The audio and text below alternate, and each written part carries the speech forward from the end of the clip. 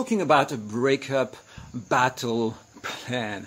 It's very important to realize that when you have a challenge in life, like being in the breakup zone, engaging in it without having a clear vision of how to engage into this battle can be extremely challenging. You might waste a lot of time, a lot of energy, and a lot of resources. Sometimes there are some communication tricks, simple communication tricks that you are going to use with your ex to de-escalate fight, to de-escalate tension, or simply to protect your boundaries, to take distance between each other. Without those communication tricks, you, it might lead to escalation, it might lead to crossing of boundaries, it might lead to more and more tension and more and more fights between each other. So those strategies, this battle plan that you want to have, is really important to win the breakup battle.